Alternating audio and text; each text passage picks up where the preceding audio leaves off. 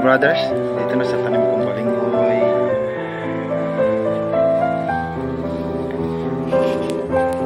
Ito na yung tanim kong luya mga ka-brothers. Hindi lang nalilinisan.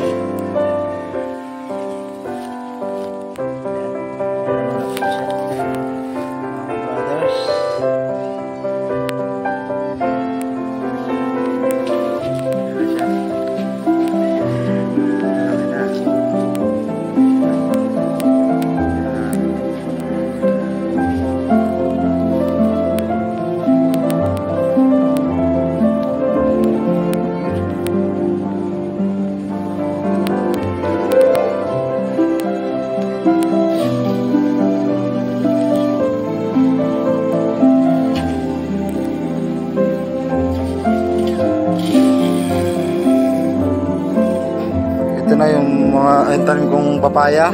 Dito lang nakasurvive. Dalawa, tatlo, apat, lima. Yan lang mga nakasurvives. Mga ka-brothers.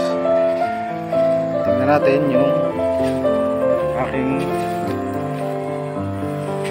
pinalaga na sayote. Ito na siya mga ka-brothers.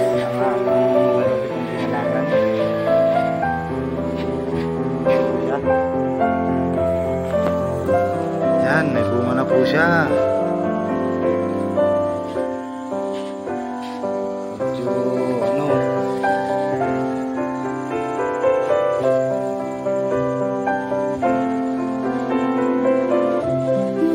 Ano, po yung saging, sagingan ko.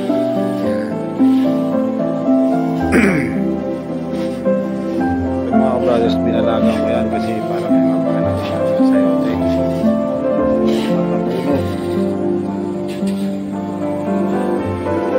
Ito, hindi na masyadong makakapag-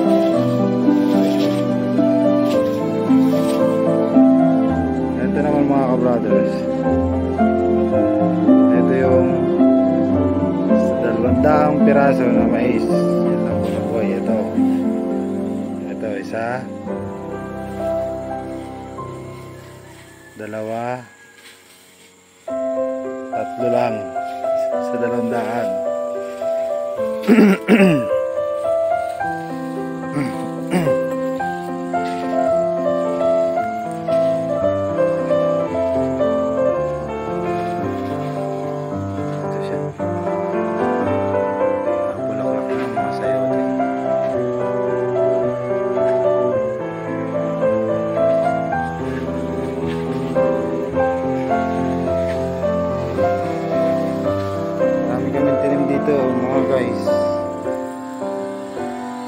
Mga ka-brothers.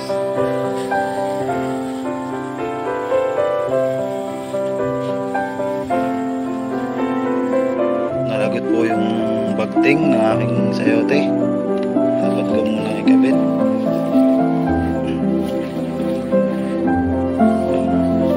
Medyo may laban na po ulit siya. Mga ka-brothers, lang po kayo sa aking channel, mag-subscribe na po kayo. Please like and share po. Ah, lagi po kayo mag-iingat mga ka-brothers. Dito na lang po muna yung video ko. May kaunting kaalaman sa. Ingat po kayo lagi.